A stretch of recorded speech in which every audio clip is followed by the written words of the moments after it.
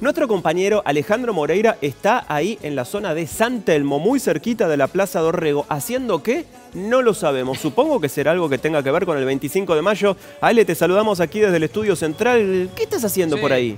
Deja- No. ¿Qué tal, Nico? ¿Cómo estás? Para, déjame. Bombero, no. Aguantá, No. Carlitos, para allá, para adelante. Déjame en No defensa de lo Humberto choques, Primo, ¿no? Moreira, lo único que te pido, Acá, no lo choques. Plaza Dorrego. No lo está manejando él. No lo está Ah, manejando. bueno, no lo Nico, distraigas estamos al conductor entonces. Llegando a Plaza Dorrego, No. Es espectacular porque estamos eso. por festejar acá el 25 de mayo, viene asomando.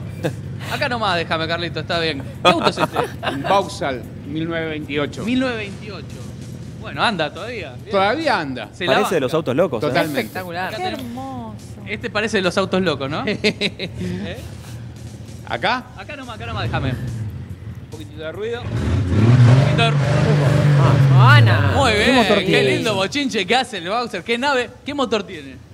Motor 250. Motor 250 y la bocina para que se sepa que llegamos. Muy bien, Muy gracias, bien, espectacular. Ahí está. Chicos, ya llegamos. Moreira. Acabamos de llegar a Plaza Dorrego. Te dejo las antiparras.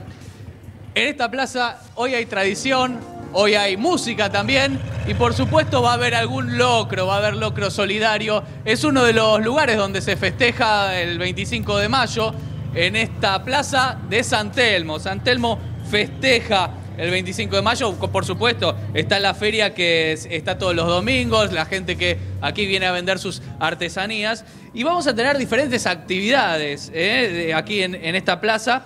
Comenzando, por ejemplo, dentro de. ¿Qué hora es? Ahora, diez y media. Dentro de media hora vamos a tener gauchos desfilando. Por supuesto, como vieron, hay autos antiguos. Desde temprano en la mañana empezaron a llegar los autos antiguos, las asociaciones de, de autos que, que se juntan generalmente en puntos neurálgicos cuando hay alguna fecha para festejar. Y en este caso, por ejemplo, tenemos. Mira, acá además de los cinturones. Seguime, seguime, changuito. Seguime, chango, ahí está, ¿eh? Mirá lo que es esto. 180 pesos el locro, ¿eh? ¿En serio? Ahí decía el cartel. Barato. Mirá lo que es esto, la cantidad de autos que hay. ¿La porción? Y Eh, no un sé si está barato entonces. No, estaba mucho más caro. ¿En serio? lugares, ¿eh? Vamos a hacer el índice Miren, locro, pero para el bonito. 25 de mayo del año que viene.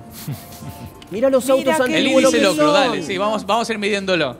Es espectacular eso, Moreira. Miren qué belleza estos automóviles. Qué belleza. Y miren qué, qué bella la- La China. Las, las ropas de estas mujeres, eh, bien celeste y blanco, eh, azul celeste y blanco. eh, ¿cómo, va, ¿Cómo va festejando el 25? Hermoso. Estamos felices, orgullosos de estar justamente este día bailando. Muy bien, bueno, bailan ahora. En un ratito el Pericón Nacional. Perfecto. En un ratito Pericón Nacional y como les dije, Locro Solidario. Dale. Hasta las 5 o 6 de la tarde va a haber diferentes actividades acá. Así que súmense, vénganse a San Telmo y que no nos atropelle este auto. En un rato vamos a volver a tomar contacto con vos, querido Ale Peña, Pastelitos y ¿Cómo Locro, no? también Pericón ahí en la Plaza Defensa, ahí en la zona de eh, la Plaza Dorrego, perdón, en la calle Defensa, en el barrio de San Telmo. Tenemos que ir al móvil con Ale Moreira, que sigue en la Plaza Orrego. ¿Qué estás haciendo, Ale?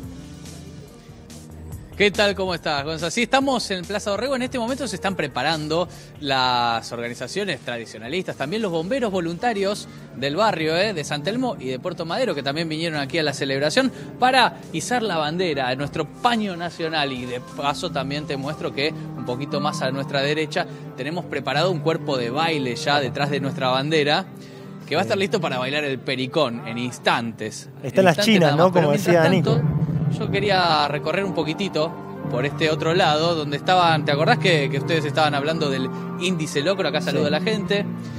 Quiero saber cómo viene la cuestión del locro.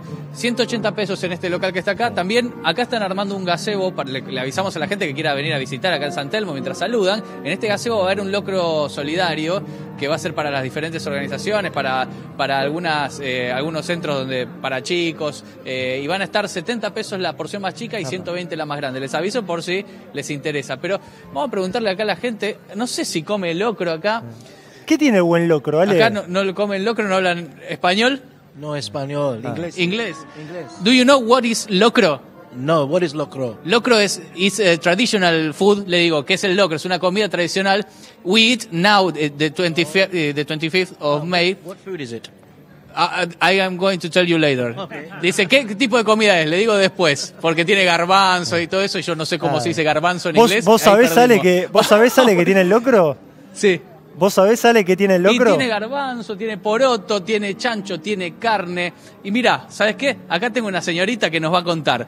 Ella es especialista en locro. ¿Cómo te va? ¿Cómo te Hola, llamas? Griselda. Griselda, a ver, ¿qué tiene el locro? Justo nos pregunta acá Gonzalo eh, Bueno. desde, el, desde el estudio. La base del maíz blanco, poroto, garbanzo, patita de cerdo, eh, chorizo de cerdo, eh, rabo, Sí. rabo, falda, que es la carne, una parte de la vaca, Sí. falda, tripa gorda, o sea, es la y todo. Todo año.